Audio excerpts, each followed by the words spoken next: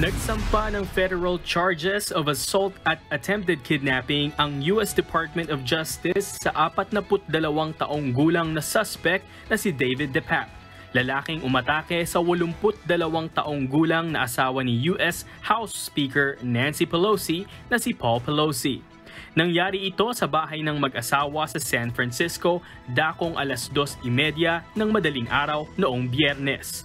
Batay sa isang criminal complaint na isinampa sa federal court, sinabi ng suspect sa mga investigador na balak nitong pukpukin ang mga tuhod ni US Speaker Pelosi upang ipakita sa mga miyembro ng Kongreso na may kahihinatnan ang bawat aksyon.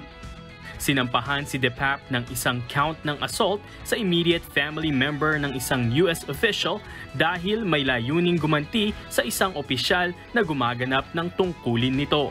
Inaasahang haharap sa korte si DePape sa Martes subalit hindi pa malinaw kung nakakuha na ito ng sariling abogado.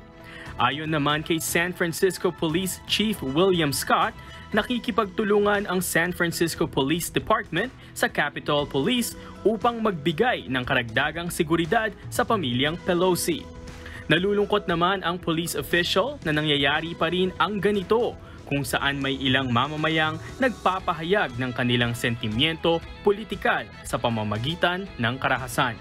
Justin Masakayan, UNTV News and Rescue. Diyos ang aming sandigan, serbisyo publiko ang aming pinahahalagahan.